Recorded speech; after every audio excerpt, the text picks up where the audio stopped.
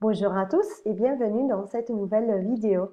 Aujourd'hui, nous allons nous occuper du roman classique de la princesse de Clèves de Madame de Lafayette. Donc, nous sommes dans la deuxième partie du XVIIe siècle lors du classicisme. Pour commencer, ici dans la première diapositive, je vous ai inséré l'image tirée euh, d'une adaptation cinématographique des années 60 du XXe siècle. Quelques informations à propos de l'écrivaine et de l'époque de référence. Donc, Madame de Lafayette a vécu dans la deuxième partie du XVIIe siècle une phase dans laquelle, au-delà des frivolités galantes du monde de la préciosité et de salon, une idée et une prise de conscience à propos du rôle positif joué à l'intérieur de la société par la femme s'imposent. En effet, La princesse de Clèves est un roman relatant l'histoire d'une femme et écrit par une femme, malgré la décision de la part de Madame de Lafayette de publier le roman sous forme d'anonymat. Qui est Madame de Lafayette? Eh bien, Marie-Madeleine Pioche de la Vergne est née d'une famille noble à Paris, reçoit une éducation complète et stable euh, pour son époque. Et à peu près à l'âge de 20 ans, on lui propose de se marier avec euh, un homme 20 ans plus âgé qu'elle, à savoir le comte de Lafayette, avec qui elle s'installe dans une première phase en Auvergne. Euh, cet aspect donc du mariage de la part d'une jeune fille avec un homme plus âgé qu'elle revient dans le roman de la princesse de Clèves, car euh, mademoiselle de Chartres, lorsqu'elle va se marier avec le prince de Clèves, a à peu près 16 ans, alors que lui est plus âgé qu'elle.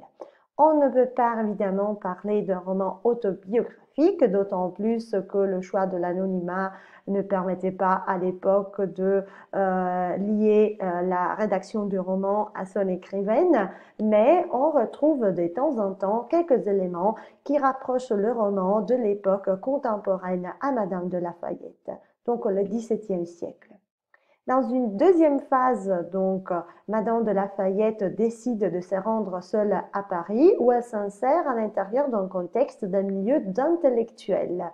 Et euh, elle développe des amitiés importantes, telles que l'amitié avec euh, Madame de Sévigné, Jean de La Fontaine et surtout La Rochefoucauld, moraliste et janséniste de l'époque, qui aidera Madame de Lafayette tout au long de la rédaction de son roman. De plus, Madame de Lafayette décide plus tard d'ouvrir son propre salon et devient l'amie de la belle-sœur du roi Henriette d'Angleterre. Ce détail de l'amitié entre une femme noble et un membre de la famille royale revient à l'intérieur du roman, car notre princesse de Clèves est l'amie de Madame la Dauphine, à savoir la femme du fils aîné d'Henri II des Valois. C'est au cours de cette période à Paris euh, que Madame de Lafayette écrit La princesse de Clèves qui marque la naissance du roman moderne. La euh, princesse de Clèves est donc euh, un roman qui garde quelques traits, quelques éléments de préciosité, mais qui n'est pas si long et fourré de détails au goût classique. Donc, euh, parution euh, qui date de 1678. Il propose une intrigue linéaire, des personnages, un cadre historique vraisemblable. Madame de Lafayette choisit euh, de le publier dans l'anonymat euh, car peut-être pour l'époque, une femme qui s'occupait de la rédaction d'un roman de ce genre aurait pu être vue de manière négative par la cour, d'autant plus que les femmes à l'époque euh, ne s'est consacrées qu'à la rédaction de mémoires plutôt que de romans épistulaires ou romans de la préciosité. Trouver l'auteur du roman à l'époque était une devinette des salons. Madame de Lafayette même ne se prenait pas trop au sérieux, faisait semblant de ne rien avoir écrit, mais s'exprimait de manière positive à propos euh, du roman en disant qu'il était bien écrit et bien organisé. Quelqu'un supposait la collaboration avec La Rochefoucauld, euh, car Madame de Lafayette était son amie et à l'époque avait proposé à ses amis, en particulier à La Rochefoucauld, de relire, corriger et euh, lui donner quelques avis tout au long de la rédaction du roman. étant peu confiante dans ses capacités.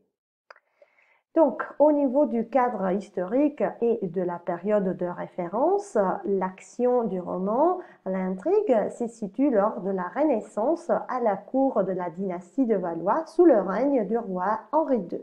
Marié à l'époque avec l'italienne Catherine de Médicis et amoureux à la fois de sa maîtresse Diane de Poitiers, duchesse de Valentinois. Euh, l'histoire de la passion de la part de Henri II pour sa maîtresse sera racontée par euh, la mère de la protagoniste, Madame de Chartres, pour mettre en garde sa fille des dangers de céder à la passion. Paru en 1678, ce roman euh, dans la partie d'introduction initiale qui donc va mettre en contexte euh, l'intrigue et l'action, euh, cache en réalité un portrait de la cour de l'époque contemporaine du XVIIe siècle, à savoir la cour de Louis XIV, le roi Soleil. Vous verrez que la composante de modernité de ce roman est liée à cet aspect de insérer quelques éléments, quelques traits faisant partie de l'époque contemporaine. Venons maintenant à l'analyse des personnages principaux. Bien évidemment, à l'intérieur du roman, euh, vous retrouvez plusieurs personnages, mais nous n'allons que nous arrêter sur les principaux. Qui sont notre protagoniste, la princesse de Clèves, mademoiselle de Chartres, donc qui devient princesse et euh, obtient le titre après son mariage avec le prince de Clèves, mari euh, amoureux éperdument de sa femme, plus âgée qu'elle, qui incarne à la perfection les qualités, surtout morales, de l'honnête homme, idéal de salon de la préciosité du XVIIe siècle. Donc vous voyez qu'il y a quelques éléments de la préciosité malgré le fait que le roman de la princesse des Clèves se situe au-delà de la préciosité, surmonte l'idée de roman long et fourré de détails de la préciosité pour représenter un précurseur du roman des siècles à venir. Et puis, vous retrouvez le duc de Nemours, un jeune homme beau et élégant dont la princesse de Clèves tombe amoureuse lors d'un bal, d'une fête euh, pour une fiançaille. Et euh, le duc de Nemours aime à son tour la princesse de Clèves, mais euh, ce sentiment, cette passion entre eux n'est jamais déclaré ouvertement. Euh, il s'agit bien évidemment d'un roman classique, donc parler ouvertement de ces passions était vu de manière plutôt négative. Il fallait maîtriser et contrôler ces passions. Le duc de Nemours peut être défini comme le bien-aimé de la princesse de Clèves et vice-versa, évidemment, et euh, pas tellement comme euh, l'amant, car euh, entre les deux, il n'y a aucune liaison amoureuse manifeste et explicite, mais plutôt un jeu de regards, quelques conversations, des soupirs d'amour et la seule scène de contact est une scène de bal lors de leur première rencontre. Finalement, vous retrouvez un autre personnage clé qui est la mère de la protagoniste qui incarne, si vous voulez, sa conscience, sa confiante et quelqu'un euh, qui lui donne de bons conseils. Madame de Chartres, en effet, donne premièrement à sa fille une éducation classique à euh, mettre en valeur sa beauté, euh, surtout sa beauté intérieure, sa noblesse d'âme, sa vertu, l'importance de l'honneur de mener vie, un style de vie correct de femme fidèle à son mari et à son honneur. Du point de vue de l'intrigue, juste deux mots pour comprendre l'action. Mademoiselle de Chartres, la protagoniste, bien éduquée par sa mère à cultiver sa beauté d'âme, sa valeur et l'honneur d'une vie dans un mariage fidèle, épouse, sous conseil d'ailleurs de sa mère, le prince de Clèves qui l'adore sans parvenir à éprouver pour lui le même sentiment. Donc la princesse de Clèves n'aime pas son mari. Elle a de l'estime, de l'amitié pour lui, mais elle ne l'aime pas.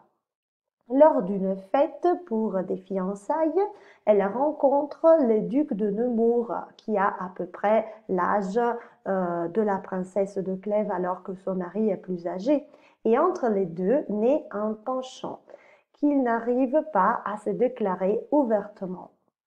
La princesse, donc euh, tout au long de la narration, aura des troubles, des difficultés euh, pour euh, cette passion qu'elle perçoit comme coupable à l'encontre de son mari. Elle fera des tentatives en s'éloignant de la cour, de la vie mondaine, par contre, elle se rend à la campagne, elle essaie de s'isoler pour essayer de échapper cette passion coupable sous conseil, en suivant le conseil de sa mère, mais finalement, elle décide de avouer euh, à son mari qu'elle est amoureuse d'un autre homme.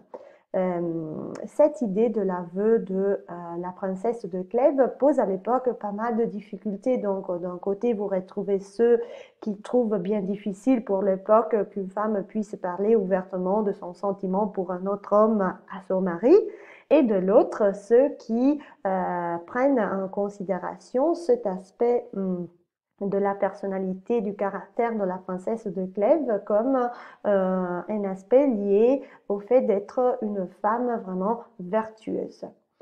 Donc, euh, euh, elle décide de avouer à son mari son sentiment pour le duc de Nemours et son mari va plus tard de chagrin à cause du désespoir pour le fait de n'être pas réussi, de n'avoir pas réussi à développer un sentiment d'amour sincère avec sa femme. La mère de la princesse de Clèves, donc Madame de Chartres, avant de mourir, rappelle à sa fille ses devoirs de femme mariée et l'invite à fuir la passion, à s'éloigner de la vie mondaine, des divertissements de la cour selon l'idéal janséniste. Malgré la possibilité de pouvoir se marier à nouveau vers la fin de la narration, après, la mort de son époux, avec le duc de Nemours, Madame, euh, Mademoiselle de Chartres, notre princesse de Clèves, décide de se retirer dans un couvent et se consacrer à la vie religieuse tout en respectant la volonté de sa mère et à la fois la mémoire de son mari décédé. Alors, les deux problématiques que je vous propose sont donc d'un côté, qu'est-ce qu'il y a de janséniste classique dans ce roman? Et de l'autre, qu'est-ce que vous retrouvez de moderne? Alors, du point de vue euh, des liens avec euh, le jansénisme et l'époque classique, vous retrouvez certes le moralisme tout au long de la narration qui vient de la collaboration avec La Rochefoucauld, proche du jansénisme. L'idée de la rigueur, de la raison de cette euh, héroïne qui essaie à tout prix de maîtriser et contrôler sa passion à l'encontre du duc de Nemours. Cela peut se reconduire donc aux héros classiques tels que Phèdre de Racine euh, et euh, Rodrigue dans les Cides de Corneille. Donc cette idée du combat, du conflit intérieur entre l'honneur et l'amour pour Rodrigue, entre euh, encore une fois l'honneur et la passion pour Phèdre et dans ce cas pour la princesse de Clèves entre sa vertu de femme mariée et fidèle et la possibilité de céder à une passion coupable, soi-disant. Et donc l'idée que toute passion est dangereuse doit être dominée par la raison. L'aveu à son mari hein, de ce qu'elle éprouve pour un autre homme fait de la princesse de Clèves une femme vertueuse. Du point de vue par contre des caractéristiques qui euh, font de la princesse de Clèves un roman assez moderne. D'abord, il s'agit d'un roman, comme je viens de vous dire dans l'introduction, qui relate d'une femme écrit par une femme. On y retrouve de plus une analyse psychologique des personnages du soi-disant triangle amoureux, donc notamment de la princesse de Clèves, du prince son mari et du duc de Nemours. La narration externe est remplacée souvent par le point d'observation, le point de vue de personnage. Les digressions par rapport à l'intrigue linéaire sont insérées avec finesse. Par exemple, la mère de la protagoniste, avant de mourir, lui raconte l'histoire de la passion entre Henri II et sa maîtresse, la duchesse de Valentinois, Diane de Poitiers, pour mettre en garde sa fille des dangers de la passion. Et finalement, vous pourrez trouver dans ces romans des éléments de l'époque contemporaine. La cour d'Henri II de Valois cache celle de Louis XIV, le roi Soleil, et l'amitié entre la princesse de Clèves la dauphine du roman rassemble à l'amitié entre Madame de Lafayette et Henriette d'Angleterre. Et pour aujourd'hui, c'est tout. Merci pour votre attention. À bientôt dans une prochaine vidéo.